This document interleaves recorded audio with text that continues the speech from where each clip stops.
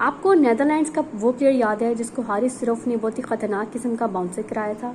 जी हाँ best LED आज उन्होंने ही अपनी टीम को ओडीआई वर्ल्ड कप 2023 के लिए क्वालिफाई करवा लिया है। जी हाँ स्कॉटलैंड के खिलाफ एक बहुत ही शानदार इनिंग्स खेली।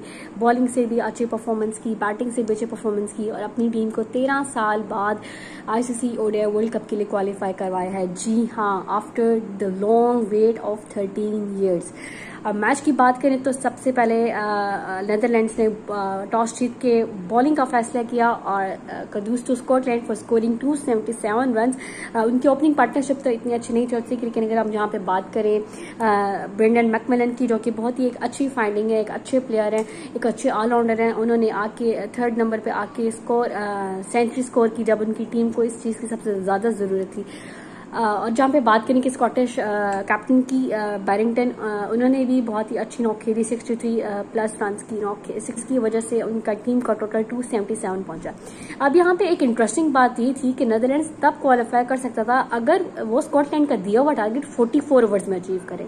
ठीक है? फोर्टी फोर अब जब नेदरलैंड्स की बैटिंग का स्टार्ट हुआ तो काफ़ी लोग इस तरह प्रोडिक्ट कर रहे थे इंक्लूडिंग मी कि बहुत मुश्किल होगा नेदरलैंड जैसी टीम के लिए क्वालिफाई करना बिकॉज़ स्कॉटलैंड की बॉलिंग बहुत अच्छी थी। आप क्रिस हॉल को देख लें मार्क पेट को देख लें, आप माइकल लीस को देख लें तो काफ़ी आप सफियान शरीफ को देख लें।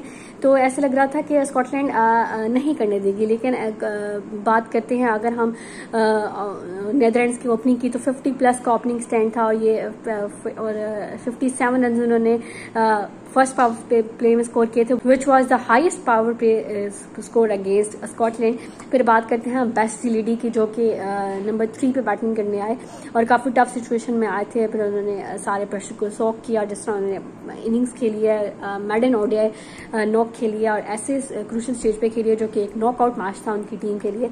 यहाँ पे हम बात करते हैं स्कॉट एल्बर्ट्स की। उन्होंने भी ट्वेंटी थ्री रन की नॉक खेली और वो बहुत ही एक अनफॉर्चुनेट डिसमिसल हुआ उनका।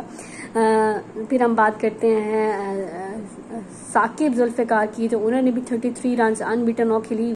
विनिंग रन स्कोर की अपनी टीम के लिए। अगर हम बेस्ट लिटी के बारे में एक्साइटिंग फैक्ट मैं आपको बताती चलूँ कि वो फ़र्स्ट एवर डच प्लेयर हैं to score 100 run and to take five wickets in the single match ठीक है।